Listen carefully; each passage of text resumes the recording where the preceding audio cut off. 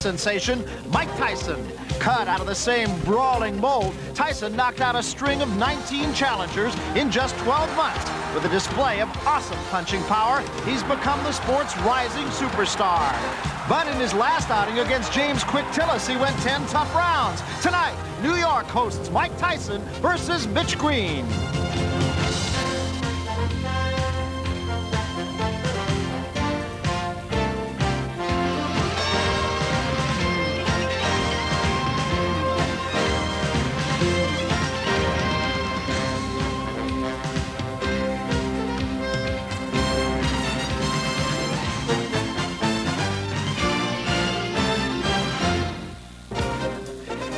No title on the line, but this building is alive as if tonight is a heavyweight championship fight. We're live from Madison Square Garden in New York City, where HBO Sports presents the main event. A 10-round heavyweight fight between Mike Tyson and Mitch Green. So a rising star has made his way to an arena steeped in boxing tradition. Three heavyweight champions continue on in the Unification Series as Mike Tyson awaits his chance. Ironically, Michael Spinks, Tim Witherspoon, and Trevor Berbick have never even fought in this historic building.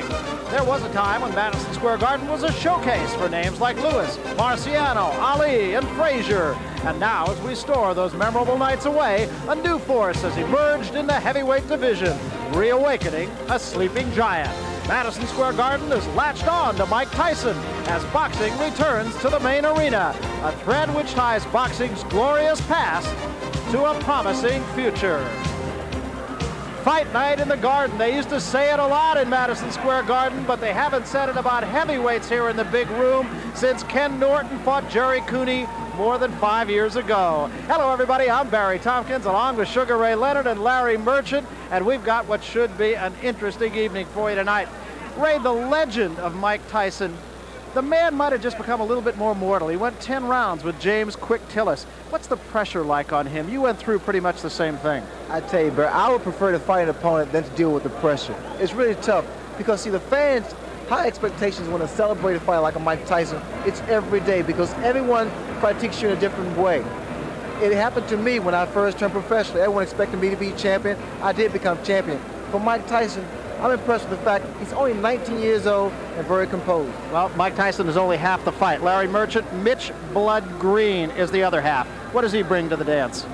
Well, if he doesn't pose a real threat to Tyson, he definitely poses a challenge. He's definitely the, the toughest character that Tyson has been put in with yet. And by that I mean uh, just a tough guy off the street. How tough? Well, he asked to fight Mike Tyson. The last time we had that, Trevor Berbick asked to fight Pinklon Thomas. We thought he was crazy, and he went on to pull up a 7 to 1 upset. So who knows about Mitch Green? In fact, Mitch Green was the guy who fought Trevor Berbick just before he pulled off that upset and gave him a heck of a fight. So Mitch Green, a tough kid from the streets of the Bronx and Harlem. Tyson from the streets of Brooklyn. We're here in the garden the old days, that's how they used to settle these neighborhood wars. Interborough battle is what we got here. And so the selling of the quote, next heavyweight champion continues. If you talk to Mike Tyson, he'll have to say he's going to bite the promotional bullet. He asks about his feelings. And of course, people, he says, people consider him a commodity. Like many 19-year-olds, Mike Tyson is preparing for finals. But he is not your average student. He doesn't read his lessons, he watches them. He doesn't attend classes, he skips them. But most importantly, he does not plan for his future. His future is being planned for him. In the 14 months since Mike Tyson made his pro debut, he's become one of today's most exciting and publicized fighters. The foundation was laid by the late Cus D'Amato, a legendary trainer of champions Floyd Patterson and Jose Torres, who proclaimed his student of the 80s the next heavyweight champion. In the past year, there's been a building process taking place. The architects are Tyson's managers, Bill Cayton and Jim Jacobs. As the owners of boxing's largest film library, they've utilized their knowledge, expertise, and contacts in the career development of boxing's latest sensation. Our chief responsibility has been, over the last year, uh, to pick the opponents for Mike Tyson. Nothing, nothing is more important than the opponents you pick for a fighter. The strategy was to pick opponents he would not only beat, he would beat devastatingly. when someone sees a Mike Tyson fight, we want them to leave the arena saying, when can we go see him again? And that's where Bill and I are scrupulously careful in determining who he fights and the style of the fighter. But it would take more than pulverizing unknown opponents in obscure arenas to get the attention of the press and public. After his fifth fight, we decided the time was at hand for the marketing of Mike with a technique that had never been used before, simply because video cassettes were never really available to a manager before. We prepared cassettes of all of Mike's fights and sent those cassettes with a covering letter to the top sports writers and top television personalities throughout the country. Wallace Matthews of Newsday, with a circulation of over a half million, was the recipient of a Mike Tyson marketing tape. It really brought Tyson to the attention of a lot of people who hadn't seen him, myself included. In addition to Cayton and Jacobs, there was also a support group whose involvement increased the awareness and interest in this 19-year-old phenomenon. Boxing promoter Jeff Levine, whose company could provide national television exposure, was hired. The fact that a good part of the country was seeing the knockouts and the explosive power, um, I think that was what created that mystique to begin with. Other interest was generated by publicist Mike Cohen, whose television and newspaper contacts added more fuel to the fire. And when we sat down in that meeting uh, with uh, Levine, Jacobs, and Cayton, the 100% A1 strategy was to go after the non-sports fan, to capture the fringe sports fan, and certainly the fringe boxing fan. According to Cohen, this was achieved by selling Mike to the so-called newspapers of influence, such as the New York Times, the LA Times, the Chicago Tribune, and the Wall Street Journal. It's said the press can make you or break you, but if you're Mike Tyson, its value has been priceless. Michael Katz, one of boxing's most respected writers, can attest to the importance of the press. The press plays a very big part in the sense that uh, if a promoter or manager knows how to use the press, uh, you get the amount of ink, the timing of the ink, uh, in such a way that getting a title shot pays. Anybody can get a title shot if you want to pay for it. The idea is to get the title shot so it pays you. Based on the amount of exposure that Mike Tyson has received, it's fair to say that should he fight for the title, his dollar potential will have been maximized. The press's attention is, is really basic to the success of a fighter in terms of the money that fighter could make. The bigger the press, the more prominent the fighter becomes, the greater purses he commands, the more interest he generates. 14 months ago, Tyson was earning under $1,000 a fight. Today, separate deals with ABC and HBO have brought in over $2 million for eight fights. I don't believe there's ever been a fighter who has reached this prominence this quickly in the history of boxing. It would therefore seem as if Mike would enjoy being in this position. Yet, like the pigeons he raises at his Catskills home, a feeling exists that sometimes it would be nice to just fly away. But can I tell you something? People wouldn't want to be in my shoes. They really think so because they say, wow, I can make money, I can get rich. But if they had to go through some of the things I had to go through, I think they would cry. It's sometimes it's so depressing. You got to go through. Like, everybody's always they always want something. They want to find a way to get your money. It's always people just as hard as you work in a gym. There's people working that hard to separate you from your money. Despite the pressure, press, and notoriety, Mike Tyson does not regret where he is. He's just a 19-year-old whose only desire is to become heavyweight champion. Personally, I feel I'm doing my job 100%, and I expect them to do their job 100%. The result is a foregone conclusion. There's no way we could fail. We must succeed. Thus far, the plan has succeeded, but what's yet to be proven is will it stand or will it crumble? Well, it didn't crumble the last time, but it did wobble ever so slightly. Tonight, the Garden is the stage for the Mike Tyson story, Chapter 21. Now, with more on the marketing of the hottest ticket in the heavyweight division, here's Larry Merchant. Mike Tyson is an awesome prospect. A prospect in the, in the process of becoming a fighter, a challenger, a champion. All in the next week and a half when he's going to fight 10 times. Just kidding, folks. But it does seem that already, prematurely, he's being treated like some sort of human trash compactor, expected to go out there and just grind everyone into powder. And if he does anything less, it's failure. So let's just remember that even the best prize fighters let some opponents standing and the critics clucking. And that he is just 19 and that he's been a professional only for 14 months. And he still has much to prove. That his punch will do as much damage to the better class of fighters as it did to the less better class of fighter.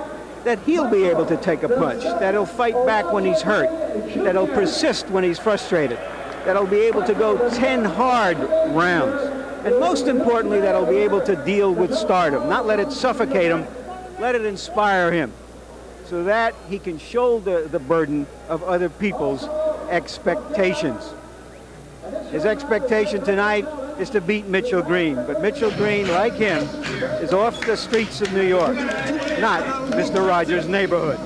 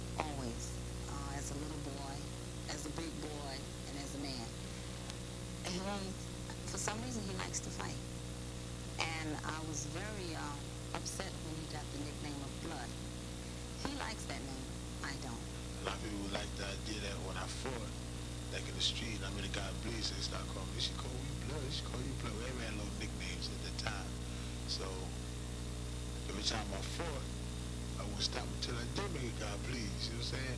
Those times I had fights, and guys would grab me and try to break it out. Let me go, let me go, let me go. Say, let me go. And I wouldn't be satisfied until I see a little scratch or a little blood here, a little blood there, you know. But Mitch stayed there a while for a little longer. He didn't really change until he became a boxer. And that changed him. I guess this way he could let off some of his uh, frustrations and anger. And he just had a mean streak. But yet he was good to people. He would help people. And in the home, um, very respectful very obedient. You would just you wouldn't believe the things he would do in the street because in the home he was so different. If you play by the rules, you can hit people legally in the ring. Green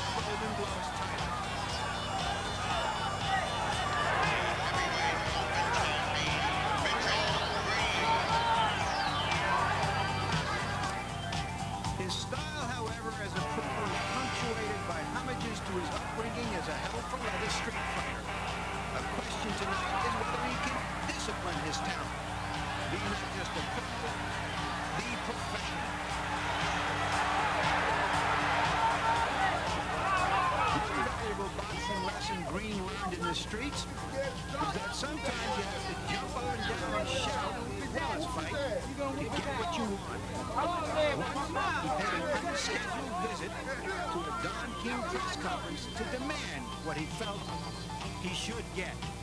I got all the potential in the world to be a great fighter, okay? But I ain't got championship mentality. You see what I'm saying? Now, if I say, okay, do me as you wish, I get a title shot. I'll be broke, I'll be a champ.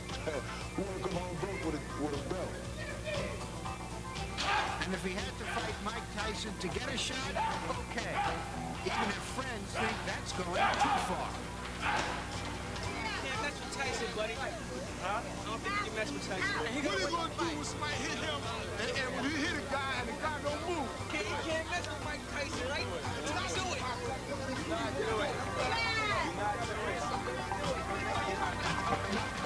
No glory.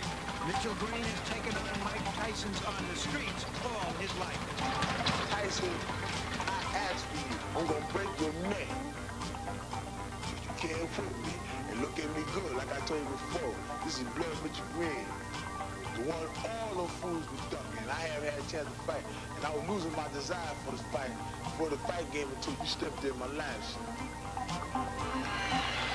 Well, Charlene Green, ringside, very nervous lady. We spoke with her yesterday. She, of course, as we mentioned, has really been very much of a stabilizing factor in the life of her son, Mitch Blood Green. She hates that nickname. She said so in that piece.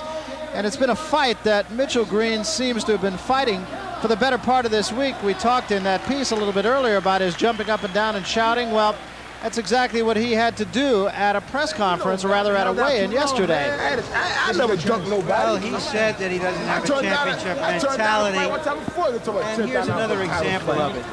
At the weigh-in, he raised a ruckus, tried to extort more money. His manager, Carl King, and I mean he knew what he was supposed to get, but just thought he he might get a little bit more if he raised a little heck. And Mitchell Green now making his way down the hallway, and it's a very short walk up to the ring here. Should point out one other thing, too. There was a story released a little bit earlier today by the New York Post and spoken about on some of the local television newscasts here in New York as well, that the New York Police Department would perhaps arrest Mitchell Green either before or after the fight. Well, the story is there is a minor warrant for harassment that was issued on May 13th for Mitchell Green. The official statement of the police department says it's a violation. It's not a crime.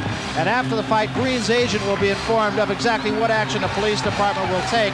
And it could be an arrest, it could be a fine, nobody really knows, but that is the official word. In the meantime, Mitchell Green has some business to take care of. Here's a look at the record of Mitch Green. The one loss to Trevor Berbick, the draw early in his career, 10 knockouts. We saw him as far back as his amateur career. He was always a very spirited, very tough kid in the ring. Not a classic style, but he'd fight you. And he's made no bones about the fact he wants to get in there and go dukes with Mike Tyson. Of course, the question is, can he do it?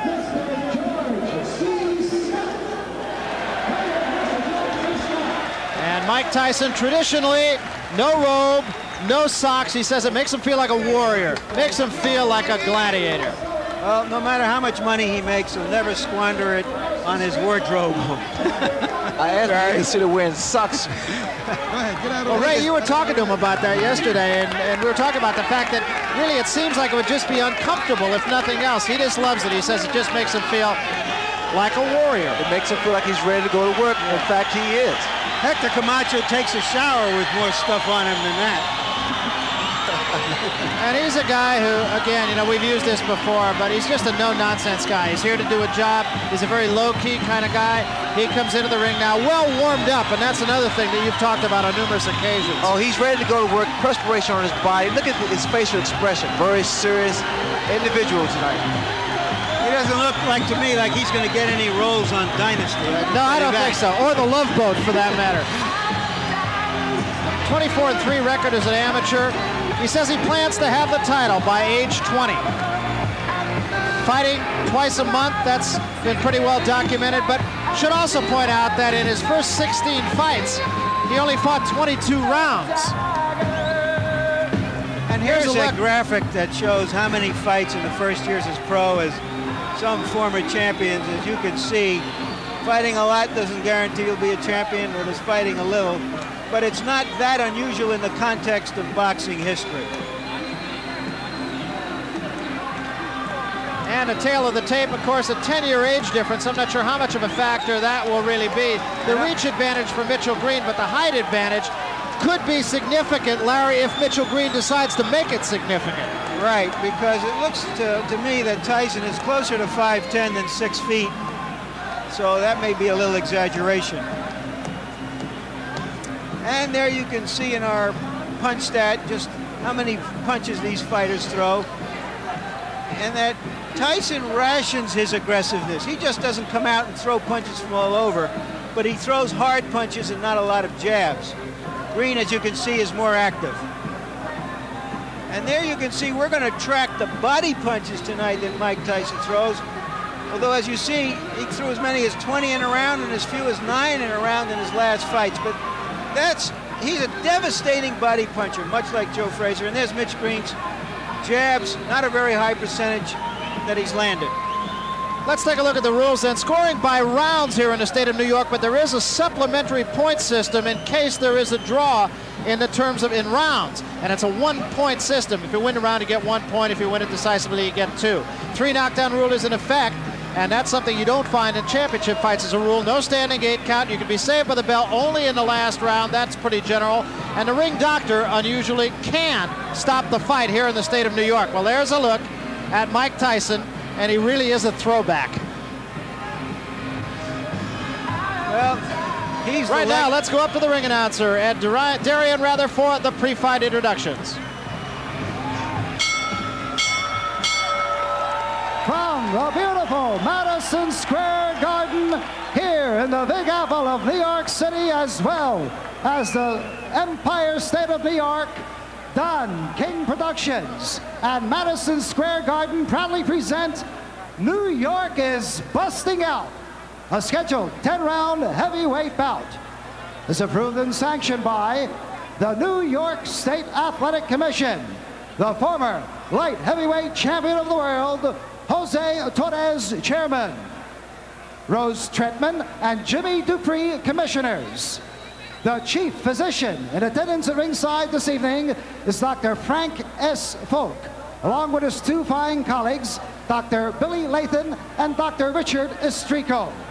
The judges, Pat Dolan, George DeGabriel, and Georgie Colon. Counting for the knockdown seconds, alternate referee Carl Duke Schroeder. The timekeeper to bell is Cecilio Pedraja. In the ring at this time, the man in charge of the scheduled 10-round heavyweight bout, referee Luis Rivera. And now, boxing fans, introducing the principals. First, in the red corner, wearing the white trunks with the black and red trim. He tipped in at an even 225 pounds. This gentleman has 16 wins, one loss, one draw, with 10 knockouts. He is ranked number seven by the World Boxing Council from Queens, New York. Ladies and gentlemen, let's welcome Mitch Blood Green. Green. And his opponent in the blue corner, wearing the black trunks. He weighed in at 215 and one quarter pounds. This young man is undefeated in 20 professional bouts with 19 knockouts. From Catskill, New York, ladies and gentlemen, here is Mike Tyson. Tyson. Little question as to the public choice. I want a clean fight. Protect yourself at all times. Any knockdown, go to the neutral corner and stay there until I tell you to come out. Three knockdown, we don't fight automatically. Protect yourself at all times and listen to my commands. Check hand with the belt out, I'm fighting Gula. One of the things we're going to have to see here is whether the Quick Tillis fight was a meaningful learning experience for Tyson or whether it exposed a weakness he's always going to have to fight to overcome. Let us also remind you that we have ringside our own unofficial judge, Harold Lederman, who is, of course, a judge in the state of Nevada and was so much a factor in the last fight that we showed you here on HBO, that between Larry Holmes and Michael Spinks. Round one, Mike Tyson right on top of Mitch Green. Just as expected, uh, Mike Tyson comes out like a locomotive, going straight for Mitch Green. Green, uh, what he's going to have to do to be successful is to box. Pretty much do the same thing uh, a boxer should do to a, a, puncher. Keep that jab in his face and not be intimidated by his punching power. Mike Tyson and It's cornerman Kevin Rooney, his trainer. We're not real pleased with the Tillis fight because they said, both of them said, that he didn't double up. He just was a little bit lazy, especially in the later rounds. So we'll see what he does about that against Mitch Green. Well, Mike Tyson told me the fact he was somewhat uh, a little reluctant to go full steam because he was going 10 rounds. I had that same experience when I fought my first 10 round in Baltimore against Rafael Rodriguez, Barry. It's, it's in your mind, you know, the fact that can you go additional two rounds. But being conditioned like Tyson, there is no major problem. Heavy-handed fighter. They say heavy-handed like George Foreman, but much faster than George Foreman. And just kind of getting over the butterflies of the first round. And he has them. He told us he definitely has a fear when he climbs into the ring. He says, I think any normal human being who says they're not afraid, not nervous when they get in a boxing ring is either crazy or lying. What is your adrenaline? It's that anticipation of facing uh, your opposition, uh, knowing that he's capable, and the fact the crowd here who are definitely for Mike Tyson. And he, of course, will be quick to credit Cus D'Amato with his overcoming that fear and that nervousness. In fact, he credits Cus D'Amato with his career period.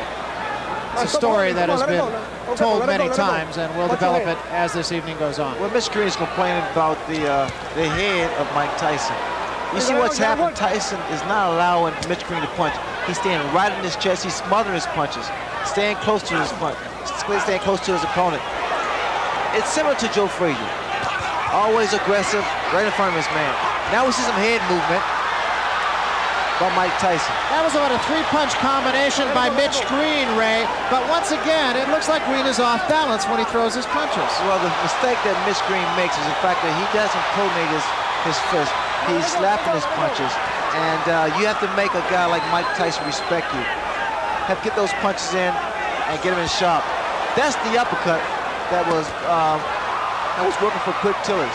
Remember, this is only the first round. It's a very up-tempo first round. Good uppercut there by Tyson. Come let it go, say. And shots to the body. Let it go, let it go, let it go. Another thing that uh, Mitch Green is doing, he's trying to tie up Mike Tyson. He's not doing too too good of a job now. He can't allow Tyson to get inside and work his body. Because in doing so, his body shot slows down your uh, maneuverability.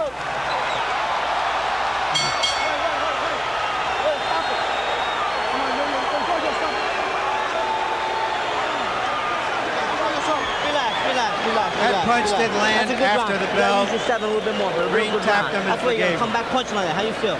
Great. All right. Give me a little water. Little sip. Not a boy. There you go. Spit it out. Spit it out. Here you'll see after the bell, right there, that last punch, a, a grazing punch. You understand? When he get inside, tie his arms up, tie him up when you get inside, like this. You understand? Double the jab, straight right hand. Keep that steady pressure. Keep it up.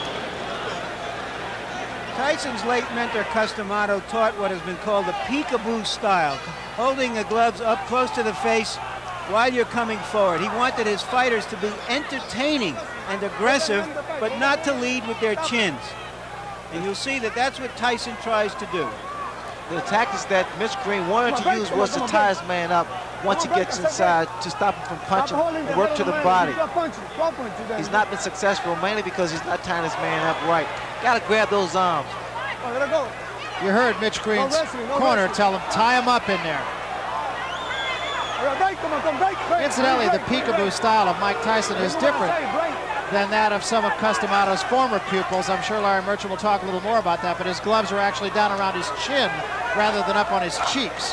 What I what I'm looking forward to seeing whether or not uh, the, this clinching by Mitch Green is going to frustrate Tyson because it has a tendency to really uh, frustrate a fighter. Good left hand by Tyson. Green got a couple of punches in, but as far as how solid those punches are, there's no comparison. Now Green holding and hitting. He, in fact, he should get a warning here from Mitch Green from holding behind the head. See, and again, Ray, it just strikes me that Mitch Green throws an awful lot of punches off his back foot, which it seems would just take away all the sting. Well, also, he, he Mitch Green makes, has a bad habit of leaning back. Watch the left hook of Mike Tyson land. Every time Mitch Green moves backwards, he has to keep those hands high. He shouldn't be inside with a fight like Mike Tyson. Tyson's arms are shorter, so he's able to throw quicker shots. There's the left hook I was talking about. Those short shots, Barry, are very effective. The other thing that strikes me, Ray, is that Mike Tyson just seems to be right on top of his man before his opponent even gets a chance to take a breath. Well, he, he stays right in his opponent's chest because what happens by him being so close, it compensates for his height, the disadvantage. You notice that there is no mouthpiece in Mitch Green's mouth. He was knocked out by a left hook. Green needs to keep that mouth shut. To Green's credit, he hasn't taken a backward step. Whether that's wise or not remains to be seen. You notice time and time again, that left hook and those little short shots. Very effective shots. This is not the type of fight that Mitch Green want to have. Hold on, break. Come on, break. Stop back. I told you, stop holding them punch, man. And he did draw a warning from Luis Rivera, the referee, about holding. Green's in trouble. Those shots to the body is doing is taking his toe. Really working. A lot of body, a lot of leverage. The body shots. Watch for the left hook. There it is again, Barry. As advertised, inside of 10 seconds. That hook is getting shorter, more powerful, and more effective. The uppercut's working beautiful for Mike Tyson also. That was a good round for Mike Tyson. A very impressive round. Getting all of his shoulders into every shot, it seemed. outside and tie the man up when you get inside. Fight, fight, Boxing. Tie the man up when you get inside. You ain't got to punch inside. Tie him up. You understand? Throw the one-two from the outside and tie him up. One-two, tie him up. Don't fight him inside. You don't have to fight him inside. Tie him up. One-two, jab and jab. Move this round. Move this round. When you get inside. Blood. Stop fighting his fight. Move this round. Throw the one-two and tie him up. All right. You understand? Hear me, Blood? Blood. What's up? Give me this snap Blood. Get him on the outside. Hold it. When he get inside, tie him up. How you feel? How you feel? Okay, keep it up. Keep the pressure on. Just keep moving. Just, just keep moving like that. Stay right on him and keep punching on the inside. You're doing excellent, baby. Real good. Come on, Cam. When Blood Green was a gang leader, they say he had over a hundred men in his gang. Right now, he needs some of them. And again, Mike Tyson bolting out of his corner right on top of Mitch Green. You gotta let it go, man. Tyson is so much physically stronger than Mitch Green, and he's using it to his advantage. Mitch Green is doing the wrong thing. He's fighting Mike Tyson's fight, trying to fight him inside, trying to exchange punch for punch. He can't do that. Tyson's far too strong for Mitch Green to fight that way. He needs Mitch Green needs to get outside, work his jab, and attempt to outmaneuver Michael Tyson. That's exactly what Green's corner. Green has been bleeding from inside the mouth, and I can't help but wonder if maybe might not have suffered some jaw problems when he lost his mouthpiece in that last round. When his mouthpiece was knocked out of his mouth, he kept his mouth open. Again, Barry, you have to watch these little short shots thrown by Mike Tyson. Very, very effective. You gotta work. You gotta work inside. Don't break. Come on, step back. Come on, And inside, it can do a great deal of damage to the mouth. You know, the last fight that Tyson had against Tillis, and what a shot! That is an awesome shot. That was just a jab. You have to appreciate one left jab. And the mouthpiece is gone once again. Started to say Tyson and his people weren't happy about the fact that he had a hand, a hand free in a situation just like this against Tillis, and he didn't take advantage of it. But is he doing that tonight? Well, the- the problem he's making, he cannot um, keep Mike Tyson off of. Those little inside shots is really busting up the mouth of Mike uh, Mitch Green. I'm sorry. Yeah, there was blood inside the mouth even between rounds, as we mentioned. He can't help it. He's breathing through his mouth. Barry, watch the left hook. The left hook is doing a great deal of damage. Come on, step back. Come on, do your work. Its inside is short, less than six inches.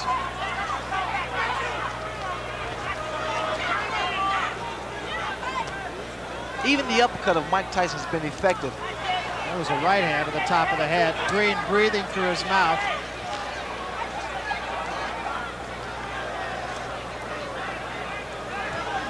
Tyson keeps that, that chin tucked in, so it's difficult to hit him on the, on the chin. Hands high. He works his way in. That was a right hook. The man possesses so, so much power. He has dynamite in both hands. It really is impressive. And whatever punch that he's able to land against Mitch, it has a tendency to shake Mitch up. Those big broad shoulders, big arms. You see the exposed area to the body. You have to think, Ray, that maybe the Tillis fight woke him up. Well, it reassured him that he is a conditioned athlete. He can go 10 rounds, so there's no need for him to slow down the momentum.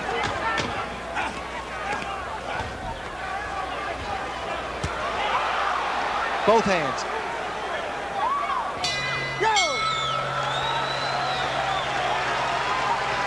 It's obvious that Mitch Green just doesn't use Very good, very the, the body he has.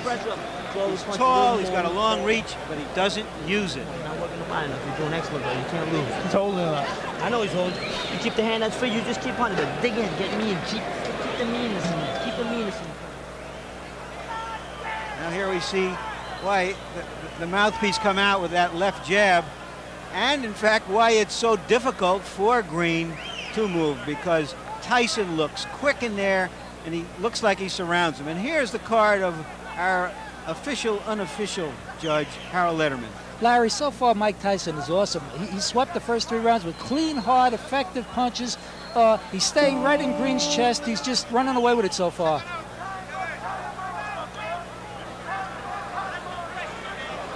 Oh, yeah. Mike Tyson anxious to get to work. I want to mention one other thing, too, and that is that it wasn't only the mouthpiece that Mitch Green lost. We have a production assistant over on the other side of the ring. Said in addition to his mouthpiece, it was a bridge with a couple of teeth in it. That's super professional. Come on. That'll just give you an idea of how tough Mike Tyson is. Let it go. Let it go. Mike Tyson, in this ring, he's at home. I mean, he fights with so much authority, so much confidence, so much Break. determination. Come on, step back. I said break. I said break. I know you got punch, fight for you if you keep on holding. If you don't The the referee now is I'm warning take uh, over Mitch. Green for holding. Second time he has warned Green. Now, Green scored with a right hand, and it didn't slow Tyson up a bit. Now, Tyson's doing what he didn't do against Quick Tillis. You notice when he's, when he's tied up, he still works the uh, free hand. He didn't do that against Quick Tillis.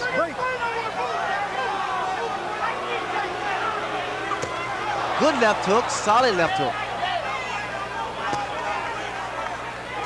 Green cannot continue to take these type of shots. It's going to slow him down. It's going to take his toe. Working the body once again, Mike Tyson with that free hand. The last time we saw Mitch Green in a preliminary fight on the Tubbs Witherspoon card, Ray, lost his mouthpiece nine times. Is that any sort of indicative of anything in particular? A lot of times it's fatigue and also it's a way uh, that fighters get a breather. Left hand, top of the head. All right, break. On, A lot of Come on, step times on because of the damage that's done to a person's nose, they have to breathe through the mouth so they get rid of their mouthpiece. Not a smart thing to do because that mouthpiece protects you from a broken jaw. Green now waving over to his corner to let him know that he's okay. But instead of dropping that right hand and the left hook of, of uh, Mike Tyson is very, very effective. That was another big shot right there by Yeah, Tyson. break. Come on, let it go. Let it go. Very good. Very good. You notice that uh, Tyson walks in, keeps those hands high. He's a very unorthodox fighter who punches with both hands, and which makes him a quite a difficult target. Yeah, in fact, that's what he says. When we asked, I asked him yesterday what his best weapon was, and he said, my elusiveness. He has said nothing about his punching power. He said, I'm elusive. That's And what I do best. And Barry, he's quick. I mean, his hands are faster than people expect or think. Now, see, this is this is how I got knocked down by Kevin Howard by moving around too much. You gotta slow down a little bit. When you get lateral movement, you don't need your excellent exactly run. Just move from side to side and stick the jab, but snap it. You gotta draw it back quick. Inside of 10 seconds. That free hand to the body. And that's something that he did not do against Quick Tillis. Yo, yo, yo, yo. Come on, come on, come on. Come on, dad. Come on. Come on, come on. Quítale el round a They don't have any bells on the street corners. Take that one over hold it. Box him a little bit this round. Yeah, for holding, not listen. Nah, use your jab. Box him a little bit. Snap the hard jab out. Snap it out. You understand what I'm saying? Let me get around. Hit two more, three more now. You want to keep that pressure on? Okay. You still got to use your jab more coming in then. You understand? Yeah, take that. Take that. You got that mouthpiece, right? Oh, All right, how There you see, that's a tremendous number of body punches for a fighter to have thrown and landed in just four rounds. Stay cool.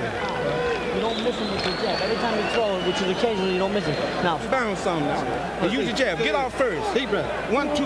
Go back out. Move, blood. Move. There you see that Mitch Green really isn't taking advantage of his longer reach, his jab. Incidentally, although it's not that important, since Tyson won the last round anyway, the referee took the round from Green for holding. Just a second ago, uh, Mitch Green got a little upset with the referee. I guess the referee was trying to warn him for holding, and Mitch Green indicated that he was boxing. Another big left hook. A running left hook by Mike Tyson. You see what's happening, Barry, when uh, Green moves backwards, he's only giving momentum to the to Tyson because Tyson's going straight ahead. He's coming straight ahead.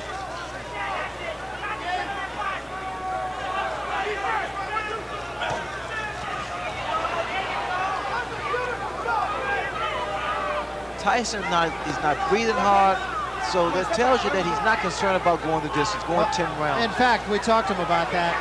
He's talking, Tyson's talking to Mitch now. In the Tillis fight, he fought hard for about five rounds, and then he seemed to coast a little bit. Look at what he's doing now, Barry. Uh, Tyson. He's starting to uh, really become very loose with his head. Slip punches. Big right hand. Big, and that wobble, Mitch Green for a second there. Come on, let it go, let it go, let it go. Break. Step back. The reason you tie a fighter up is to at least clear your head or either to um, to throw off his timing. Well, just how hard Mike Tyson hits can be learned in talking to some of the people he fought. Look at the look at here, look at here. Just Very laughing good- at him.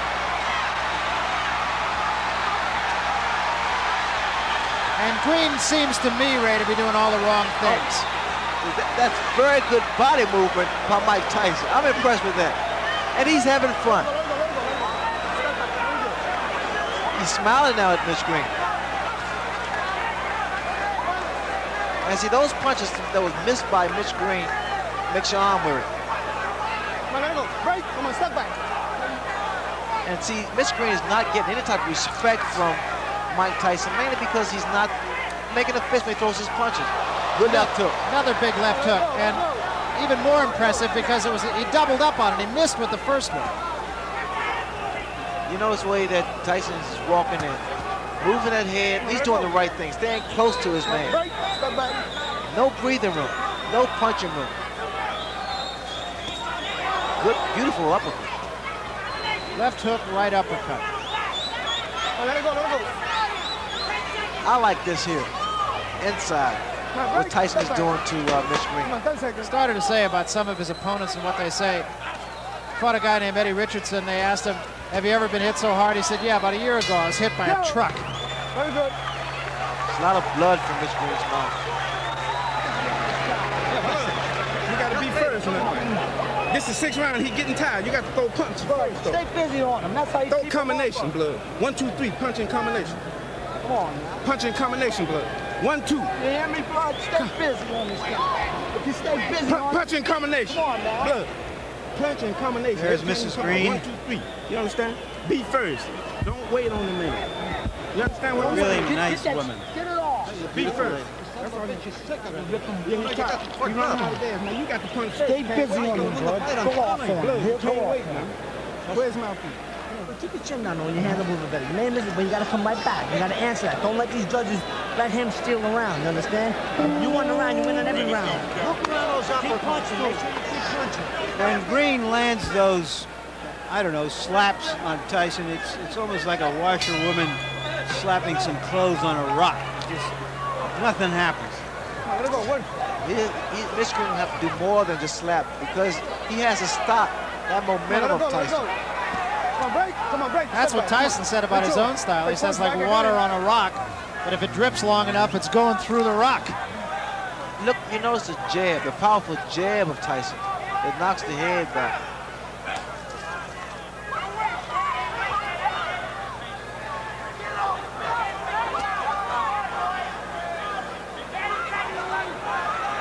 Right, break. Step back.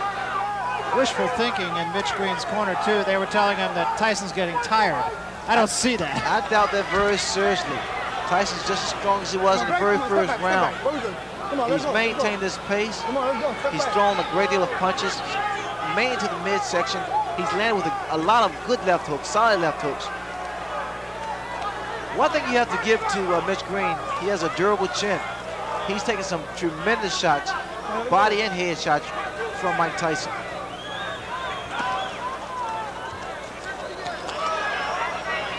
Green is able to land one one jab, and break, all of a sudden. Tyson's right there in his chest. Another big left hook.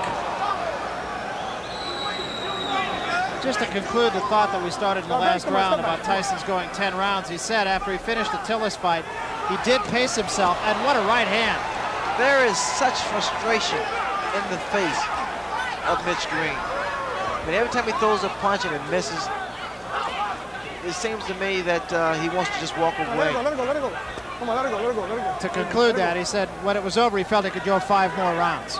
He's conditioned, all right? You notice that when he goes to the body, he doesn't throw one punch, he throws two, three, four shots. I like the fact that Tyson used what he has. I mean, he has power, he has speed, has a good chin, and a huge net. I mean, he is so tenacious. He's not letting up. Keeping those hands high. Come on, let it go, let it go. Come on, break. Come on, step back. Come on, step back. Ha having gone to 10 rounds against Tillis, Ray, you could see a different fighter here gotta as we you gotta head into the last five rounds of this one. It's only a reassurance that he's capable of going 10 rounds at full speed. Look at here, you can tell that he is not concerned about going the distance, um, throwing those shots, combinations to the body. And he is on, he's come on, done this on, from, from the very first round. And not breathing, look at him, he's not breathing at all.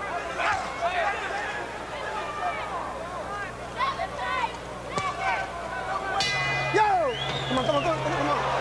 Come on, come on. Come on, come on, come on, come on, come on. On both ways.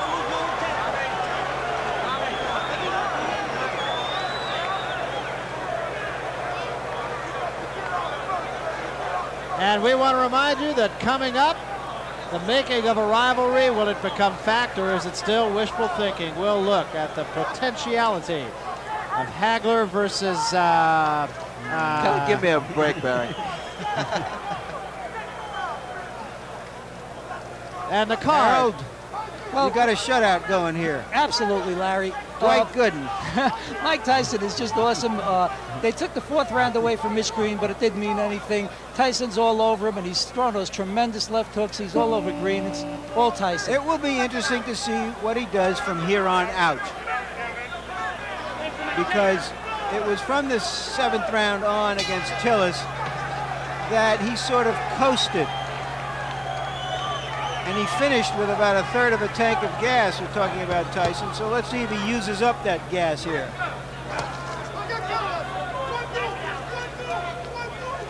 This is round number seven. I like the tactics on, of Mike Tyson. come on, come mean, He's uh, not wasting Very any good. energy.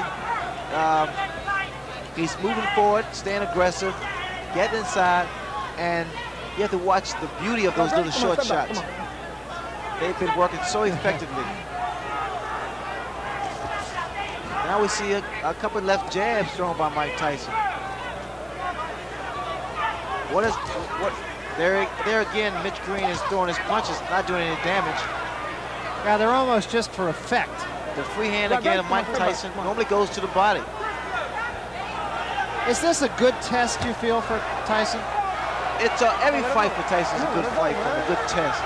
Uh, you got guys that, uh, especially like a Mitch Green or Quick Tillis, guys who, because heavyweights will be taller, the average heavyweight is around six feet, and he's able to cut the ring off and become more technical in the ring. Chopping right hand did get in, but again with absolutely no damage. Come on, it's not wrestling. Come on. Come on, let it go. It's not wrestling. Boxing. I mean, Tyson, they're good uppercut. What an Beautiful. uppercut. Just straighten Mitch Green right up.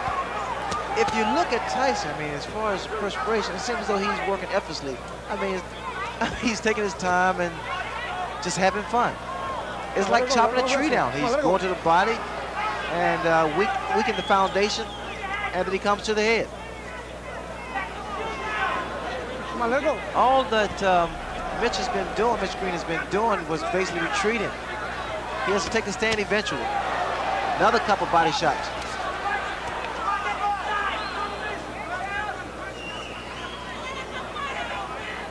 Come on, let it go.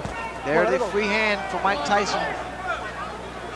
Now using that much more than he did in his last go with Tillis. I mean, Tyson is actually concentrating. He's looking for an opening. And he's making that opening happen by working that body.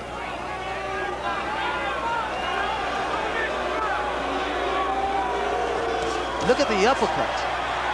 And he's setting his, he's setting Mitch Green up with uppercuts.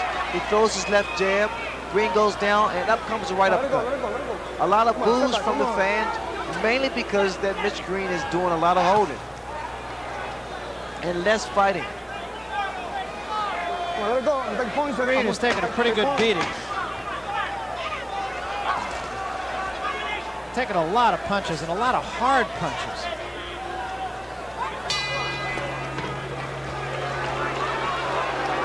Tyson's not that impressed with Mitch Green. We're not booing you. You feel all right? Let me get that water. Stay, Mike. Just, just stay right now. He's a, he's, he's speed. Just get, stay right Listen now. up, listen up. Listen up good. Now we got to the side of the law. But every time you throw the jab, you don't miss this guy. You understand? You don't miss him. Just sit around and concentrate on the jab. Bam, box with him, box him. Get Cover that. Yeah, come on, come on. Come out with three or four punches of blood, like you do on the bag. Bam, bam, bam. You understand? Get the jab out there and come with a combination behind the jab. What's wrong? You understand? Don't let him get inside and hit you with uppercuts. Keep him outside. You got to Take a deep. You hit him some good shots, okay? Second out. Come on, baby. The crowd wants magic. And I think that Tyson would like to give them some magic. But his opponent isn't cooperating at the moment. He's not acting like a girl who's letting him pull rabbits out of his hat. He's fighting with a lot of neighborhood pride, and he wants to hang in there as long as he can. Now break. Come on, come on. Mitch Green told, corner told Come him on, let it go, let it go, uh, to throw two, three jabs like it, like he uh, does on the bag, but the bag doesn't hit back. Tyson hits back. Come on, let him fight, man. Come on. He's ready. Tyson is not breathing hard. This is the eighth round. It's been up-tempo for Mike Tyson right from the opening belt. Actually, a little bit slower this round than he has been. A little bit more leaning going on in this well, round. he, he would throw, Tyson would throw more punches if uh, Green didn't tie him up.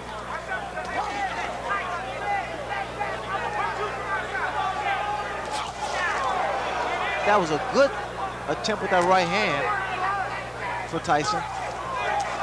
And now we see uh, Mitch Green. He landed with a good uppercut there. Green just trying to tie Tyson up, and a couple of good shots by Mitch Green. His best rally of the fight right here. Look here. No. He's caught Tyson four or five times, and Tyson, for the first time, seems a little bit puzzled. Well, he's smiling. Tyson is smiling, but see, Green has those fast hands. Let it go. Good body shot by Mitch Green. Now we're seeing a different Mitch Green. But he has to be very careful of exchanging punch for punch Come on, inside with Tyson. Watch your head, watch your head. Come on, let's go, let's go. Watch your head. Watch your head. There was There's- a right hand, a huge right hand by Mike Tyson. Grab right. Come on, grab right.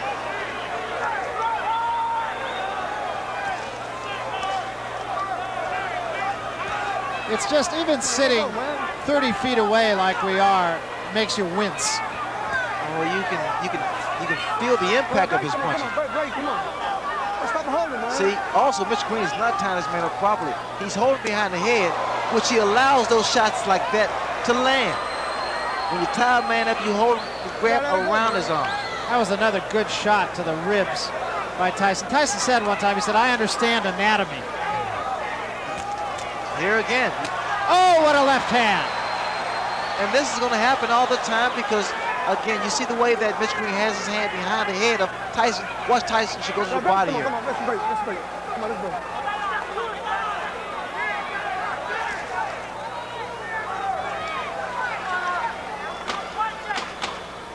Start breaking.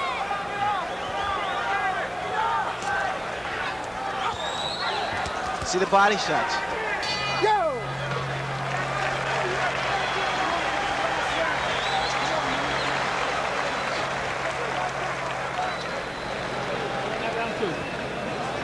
Yeah, but close, a little close. You gotta throw a little bit more. You gotta throw more. You understand? A little bit more, Mike. Come on. You let him have a big round. You understand? He had nothing left after that. Kid, Spit it out. You don't miss him with any of them. Take a deep breath and let out stuff. Come on, baby. Deep breath. Let out stuff. Take another one. Get right on his face this round. Ninth round, baby. It's a ninth round. You understand? Yes. Now, he made that round close enough to steal. We're going to give that one to him. See how he come right out there with That was a first. Well, I don't want to give it to him. You get out there Well, and take Kevin it back. Rooney Right? is in there and Take just jabbering away 100 miles a minute. Mike Tyson leaned over and just kissed him. You hit him a right, right hand hook over there, but you didn't get the side. You didn't double up. Where's the left hook? Right there. You do better when you came. No, I'm Right that water out air off the floor. Clean it up. You got a flood there, guys. This is an awfully good fight for a Mike Tyson. It indicates that his management wants to get him tested. They want to get him into a position not where he's merely going to be maneuvered into a title fight to fight a title fight, but that somewhere down the road he will have had the training to win a title fight. Tyson draws a warning for headbutts.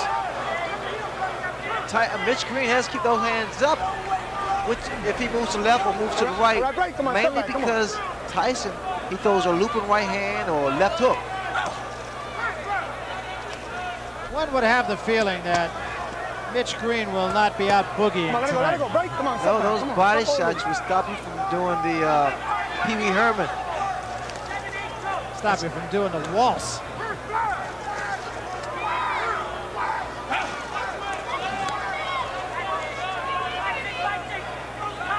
Come on, let it go, let it go, let it go, let it go, let it go, let it go.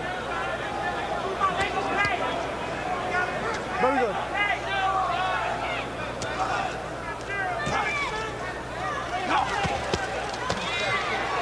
Come on, let it go. Tyson's using, you know what, what I feel, Barry, he's using what he has. I mean, he's not what you considered uh, flashy and what have you, and um, he's just taking advantage of every opportunity. He fights his man the way his opponent lets him fight him, inside, which is a big mistake that Mitch Green is making. Tyson's arms are short, so he has a tendency to loop his punches. Come on, break, come on, step back. Some are somewhat telegraphed, but because he has speed behind his punches, he's able to get away with it. Continuing to bang away at the body with a free hand. That uppercut was short. Mitch Green is not making this fight easy for Tyson either because he's he's steady tying him up. He's holding him. Let it go, let it go. I think the way you critique uh, Tyson's performance, is the fact that he he's remained composed. Watch it, watch it, watch Normally, this type of fight frustrates a fighter. When a guy's holding you and complaining and what have you. Tyson's corner wanted him to punch a little bit more. He hasn't really punched a lot more in this ninth round. It, well, again, it's difficult to punch a man who's tying you up and holding. Let's see here. it. On, let it go, let it go. for Mitch Green, it's it's pretty much survival. I've seen a different Mitch Green. He fought Percell Davis in Atlanta and was a more determined and a more of a, a let boxer. break. Come on, come on. Come on, come on. Here he's basically just Come trying on, to I said survive. break, man. That seems to be something that runs through all of Mike Tyson's opponents, that they all are in there to survive. I'm not sure that could be said about I Mitch don't Green. know if Mike Tyson is living up to your expectations, but I'd remind you that Joe Louis went the distance three times in his first 20 fights. Joe Frazier a couple of times. Rocky Marciano a couple of times in his first 21 fights. Some opponents just don't cooperate. Harold? Larry, uh, I just don't think that Mitchell Green's flurries are doing enough to offset Tyson's power punching. Tyson's landing too many clean, effective shots. You might stop him, blood. Go punch him. Go to punch him. You understand? Punch with both hands, blood. Step to him. Don't wait on him. No more rounds. Last one. Step to him. Step to him, blood. He's gonna punch like that. Curious here, Ray, whether Tyson will be satisfied to go out winning or does he want to go out closing the show in a sensational style? Well, the way he's geared up now, he wants to go out in style. You want to see a Very good, very very aggressive. Mike Tyson this round. Come on, let it go, let it go. Tyson was ready to Come go. on, no Luis rest, come on, Rivera move said back. shake hands on. before we on, get move going. back, Move back. This is the last Very round. good, very good. Tyson wants to go to work, but uh, Green here doesn't want to fight, it appears to me. Green's corner telling him to step in to Mike I don't want no Tyson. I don't want no wrestling. No. This is a bad performance for Mitch Green. And um, he has some grievances with Don King about not getting the type of money that he wants. But the fact is, he has to prove himself here. And the mouthpiece goes again. Let it go. He has to prove he deserves the money.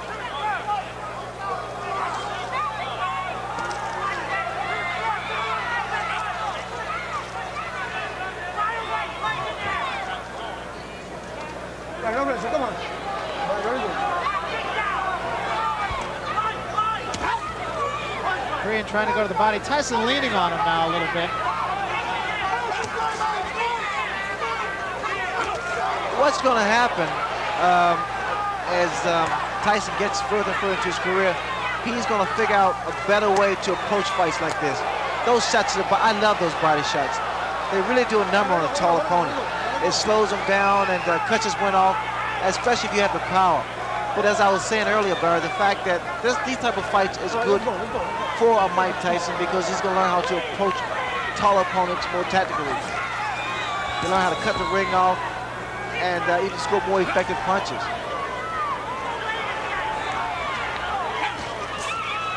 Moving that head very well, Tyson. Took a couple of shots, but still. The only problem I Coming see with, uh, excuse me, Barry, the only problem I see with Tyson is the fact he comes in sometimes with those hands down a little too low. Because if you meet, meet a good puncher with speed, uh, could prove to be disastrous. But now he's he's doing he's doing a job. Well, remember, he knocked out his first 19 opponents, went the distance with Tillis, and now likely will go the distance with Mitch Blood Green. The crowd not real thrilled with the goings on here.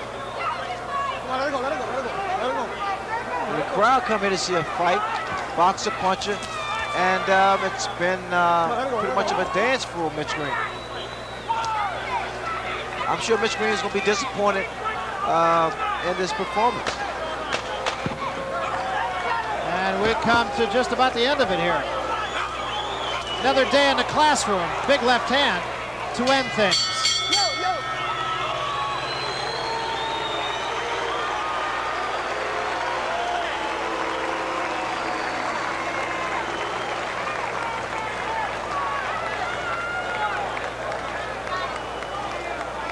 So Mike Tyson has gone 10 rounds for the second time in less than a month.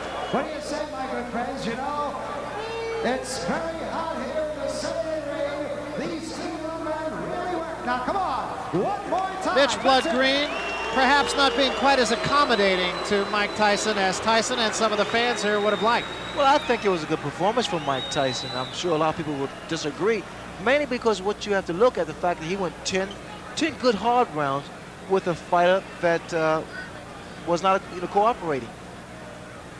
Take a look at the punch stat. As you can see, he was pretty effective with his punches, and there weren't a lot of jabs in there. He threw out a great deal of punches. more so to the body. Uh, Tyson delivered, delivered a great deal of body shots to Mitch Green. Green didn't fight at all to me. Did a lot of holding on and not effective.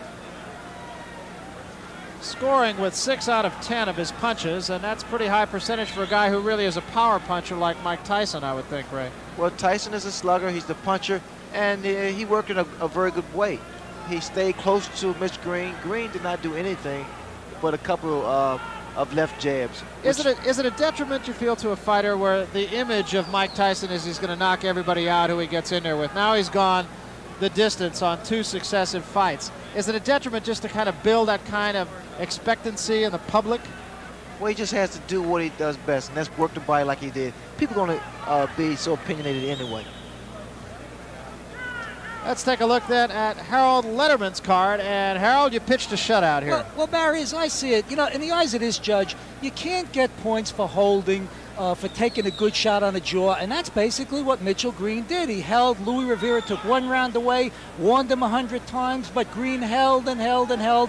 The closest I thought Green got was the 10th round, but even that, Tyson won. You know, I mean, there's the old thing of styles make fights, and perhaps in this case, Styles unmade this fight, if you will. Mitch Green really wasn't willing to be the cooperative opponent that the crowd and Mike Tyson perhaps would have liked. Let's go up to the ring announcer now, Ed Derian, for the official decision. Ed? Ladies and gentlemen, from Madison Square Garden, we have a unanimous decision. And the scoring by rounds as follows. Judge George DeGabriel observed the fight 8-2. Judge Pat Dolan watched it at 9-1. And Judge Georgie Colon observed the fight 9-1 for the winner. For his 21st straight win in as many fights, Mike Tyson. Tyson.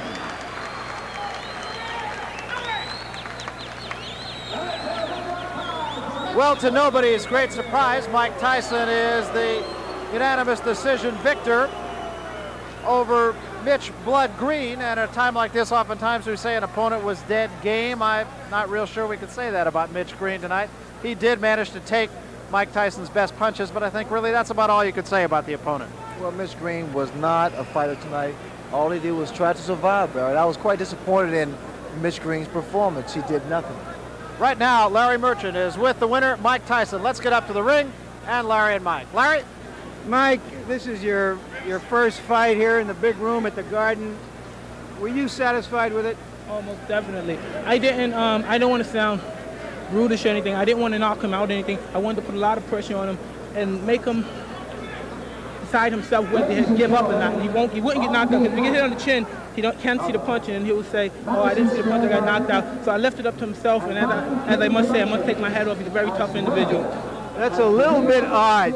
You're saying you didn't want to knock him out because you hit him some awfully tough punches for a guy who didn't want to knock the other guy out. Well, they were tough punches, but they weren't devastating punches. They were rugged punches. Boom. Because I knew he was a professional, and if he would have went down from the punches, he, that would have been the fact that he gave it up. That's his problem. Your, your, isn't your goal just to win it as quickly and as devastatingly as you can? Most definitely, but I wanted to give a 10-round good performance, which everybody liked. How would you rate this performance as against the Quick Tillis performance, and what did that mean to you, having gone 10 rounds, perhaps not as satisfactorily as you would have hoped the last time? Oh, well, those things happen. As you said, I had a seven-week layoff, and going 10 rounds, I'm telling you, it's fun. I'm having a good time in there. I saw something I never saw before in a fight tonight. While your trainer was jabbering away there between rounds, you just sort of leaned over and kissed him like you were having a good time. Because we, were, we knew we were going to win this fight so easy. In the paper, but he was going to knock me out. But we knew deep inside that I was going to win this fight so easy because of his style. He's a game tough opponent, and he took some fairly decent shots. But as you know, I won comfortably, and I didn't try for the knockout, and I used a great deal of discipline in there, not knocking him out. Cus D'Amato, your old mentor, wanted you, as all of his fighters, to be an entertainer, to excite the crowd.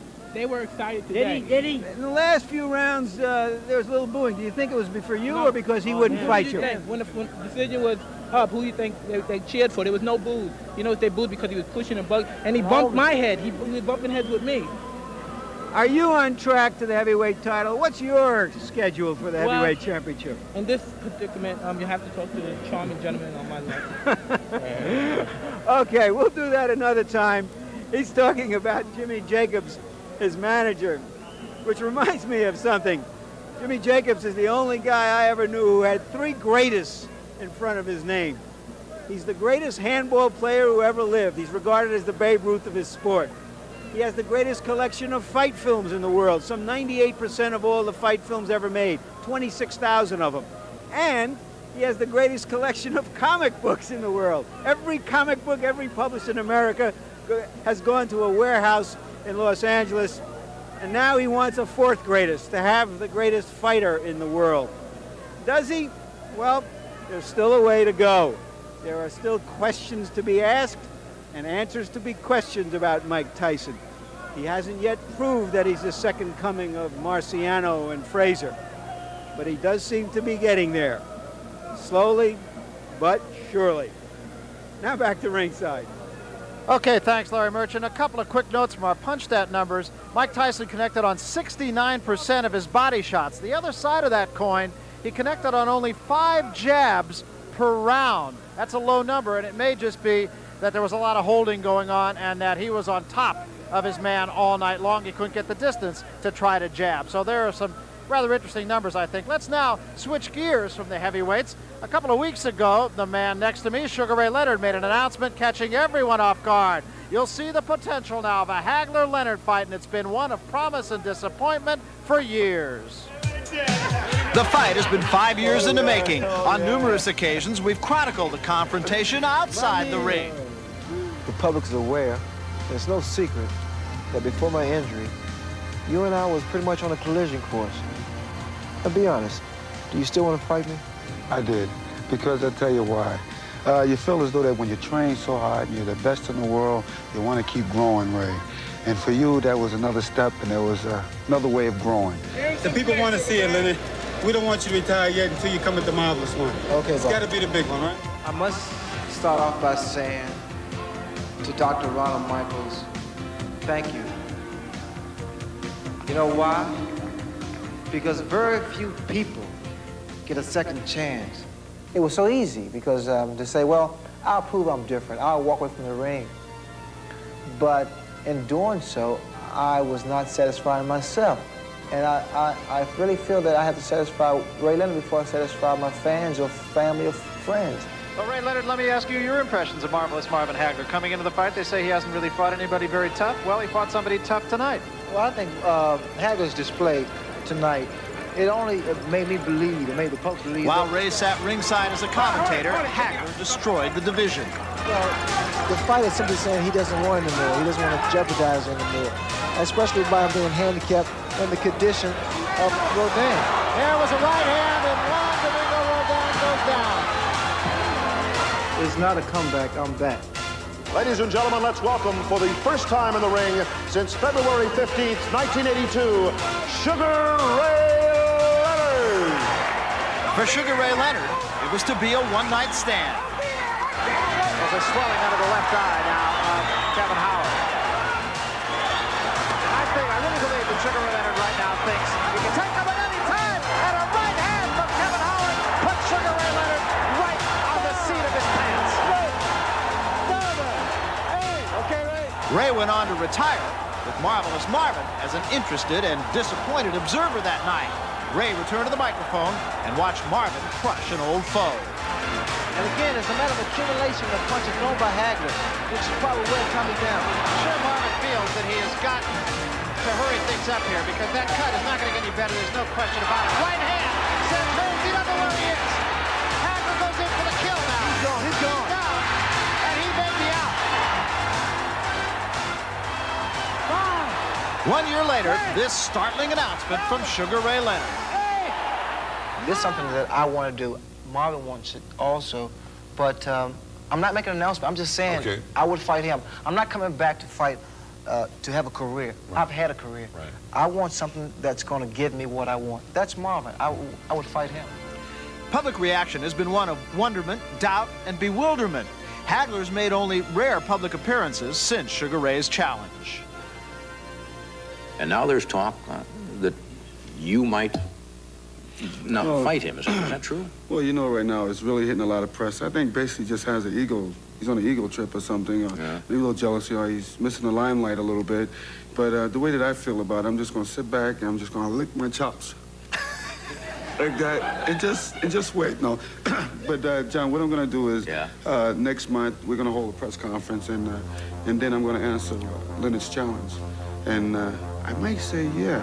He is the undisputed middleweight champion of the world, introducing Marvelous Marvin Hagler.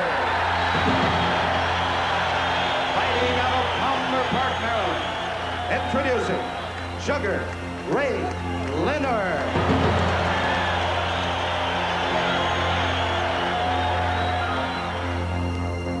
And so the spotlight once again shines on commentator slash boxing champion Sugar Ray Leonard. Ray, let me ask you the question the way it's been asked by my friends to me who know I know you.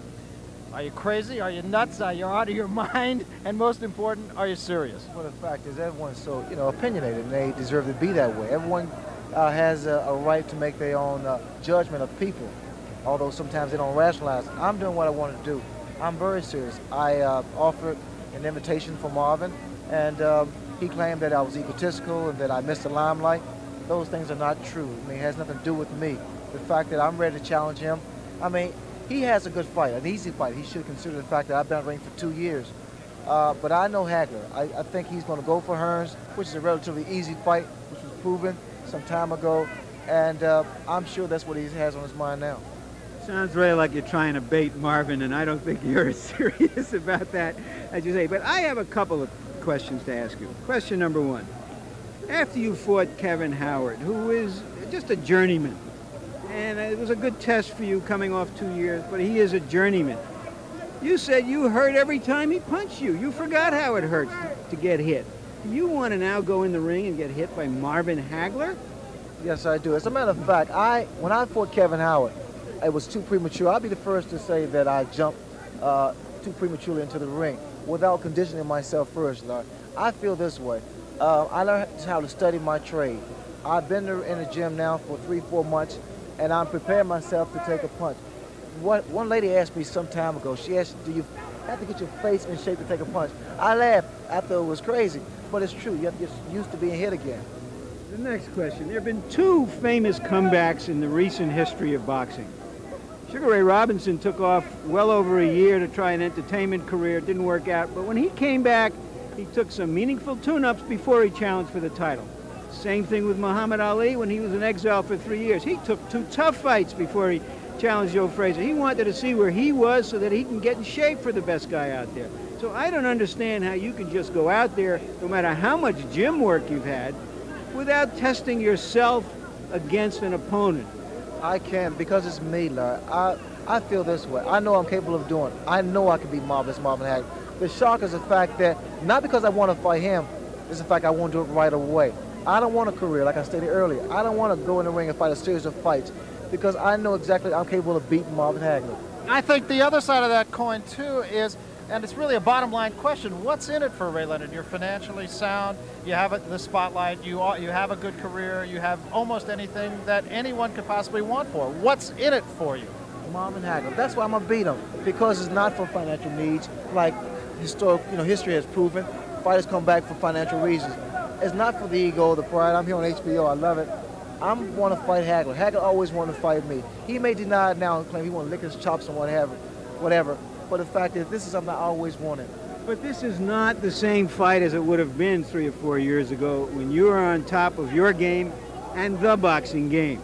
And when he was the number two guy, it's it, it, no matter what happens in the fight, it's not as if the great Sugar Ray Leonard fought the great Marvin Hagler. It's a Sugar Ray Leonard who's fought just one little old fight in four years, so it's not quite the same thing. That's true, I mean, I, but I've been wrestling for two years. He's been beat around for two years. Okay, it's a big difference. You've got yourself convinced, if nobody else. Thank you. but there's also the old adage, and we said it about Larry Holmes, that you don't get better when you get older. Well, you reach a once you reach a peak, you don't go high, you go down. The fact that I'm 30, and I admit that. Hagler's 31, 32, 33, give or take a year. And uh, It's an easy fight for him. He should take it. well, that sort of took my next question. Actually, I was going to ask you about the fact that Marvin Hagler really doesn't seem to have anything to gain from this fight either. If he beats you, people are going to say, well, you beat a guy who hasn't fought for four years. And if you beat him, then all of a sudden he loses all, all the notoriety and all the public acceptance that he's been striving for for But so long. He has something to uh, obtain by beating me. He wants it bad. I mean, he. We both stated we were at my restaurant, Jameson's, and he said, "Ray, it would have been a big fight if we had fought. It can happen now. It can't happen two years down the road." It's understandable that you feel you have unfinished business, and of course, every time Marvin Hagler goes out there, he's got something to lose, but he doesn't have $10 million to gain as he might against Ray. But the question has to be asked because people are going to ask it. The risk to the eye. How do you feel about that? Well, you know, everyone has been stating that Ray, I advise you not going to the ring. But these people have no knowledge whatsoever in ophthalmology. I have an ophthalmologist who's given me the clean bill of health and learned another thing. In fact, I had extensive examinations. I'm 2020. People still bring it up as an issue. Um, it was it was misinterpreted that I said that Marvin Hagler would go for my eye. That's the least thing on his mind. If he didn't think he's concerned about my left jab. I was just going to say, what now, if anything, is the status of the negotiations? Where does the fight stand? Is there any talk? Is there any rumblings at all, other than just what we read in the newspapers about a fight? There is major interest, I know, I, from a Hagler standpoint, from a Petronelli standpoint, from all the people that's not involved in the promotion, quite naturally, they don't want it to happen. But um, so far, everything is up in the air. You've answered all of my questions, Ray. well, all right, I'll ask you one, one more thing, too. What happens if you do beat Marvin Hagler? Where do you go that's up? Well, can you just sort of turn your back from it and say, okay, I've done it and I'm out of it? I'm glad you asked that question because normally, because I've made two come, well, one comeback really, and I say I'm retired, then I come back, and people, you know, it's like the boy that cried wolf. I become, they con- I contradict myself, they say, but I say one fight with Hagler. Hagler will retire to this fight, and I will retire to this fight. Does it bother you that the nation's press has not been real kind to all of this? How does that make you feel? I know you pretty well, and I know you're a sensitive guy. I'm a sensitive guy, but also I, I look at the source. you really have well, to consider we're the all source. just terribly sensitive guys here. We're very But we're talking guys. about a lot of bucks, and we're talking about a guy that that, that feels that uh, he once did something as well as anybody that I've seen has done it, and there's this unfinished business to, to attend to. Thank you, Larry. Larry. Well, that's the way it is. So we will likely then, I think it's fair to say, see a Sugar Ray Leonard, marvelous Marvin Hagler fight. Tonight, we saw perhaps the next heavyweight champion, Mike Tyson, as he won a unanimous decision over Mitch Blood Green. And we want to remind you to join us for our next presentation of World Championship Boxing. WBC lightweight champion Hector Macho Camacho defending his title against former champion Edwin Rosario right here in Madison Square Garden. That's Friday, June 13th, 10 o'clock Eastern.